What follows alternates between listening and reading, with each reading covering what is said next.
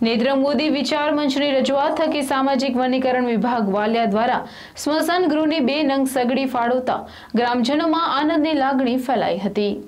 નેત્રંગ ગામના અમરાવતી નદીના કિનારે રેલવે બ્રિજ પાસે આવેલ સ્મશાન ગૃહની સગડીઓની પ્લેટો જર્જરિત હાલતમાં હોય તેમજ બીજી સગડીમાં પણ ઘણી પ્લેટો ન હોવાથી અંતિમ સંસ્કાર માટે ગ્રામજનોને હાલાકી ભોગવવી પડી રહી હતી.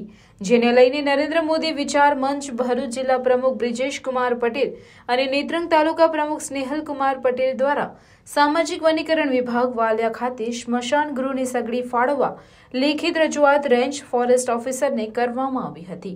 Range forest officer Mahipal CM ગોહિલે Netrang સ્મશાન ગૃહની આ જર્જરિત અને પ્લેટો વગરની સગડીઓની પરિસ્થિતિને ધ્યાને લઈને આ રજૂઆતને તેઓને તેમના ઉપલા લેવલે ઉપર કરી હતી.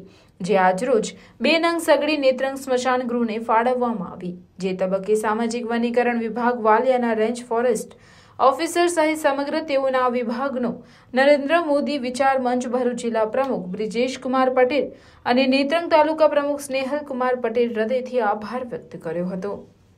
બાવીસ ચાર બે હજાર બાવીસના રોજ નેત્રંગ ગ્રામ પંચાયતને નરેન્દ્ર મોદી વિચાર મંચના પ્રેસિડેન્ટ બ્રિજેશ કુમાર ભરતભાઈ પટેલ તથા નેત્રંગ તાલુકાના પ્રેસિડેન્ટ સ્નેહલકુમાર નરેન્દ્રભાઈ પટેલે લેખિતમાં સામાજિક વનીકરણ આધારિત વાલિયામાં અરજી આપેલ કે નેત્રંગ સ્મશાનની અંદર સગડીની જરૂરિયાત હોય, એ સગડીને જરૂરિયાતને ધ્યાને લઈને નેત્રંગમાં સામાજિક વનીકરણ વલિયા દ્વારા બે સગડી આજરોજ આપવામાં આવેલ છે અને આ બાબતે નેત્રંગના તમામ હિન્દુ ભાઈઓને આની અગવડ પડતી હોય, જેના કારણે નરેન્દ્ર મોદીની, નરેન્દ્ર મોદી વિચાર મંચ જિલ્લા પ્રમુખ બ્રિજેશ કુમાર ભરતભાઈ પટેલ તથા નેત્ર તાલુકા પ્રેસિડેન્ટ સ્નેહલકુમાર નરેન્દ્ર પટેલ નરેન્દ્ર મોદી વિચાર મંચની રજૂઆતને ધ્યાને લઈને આજ રોજ નેત્રંગની અંદર બે સગરી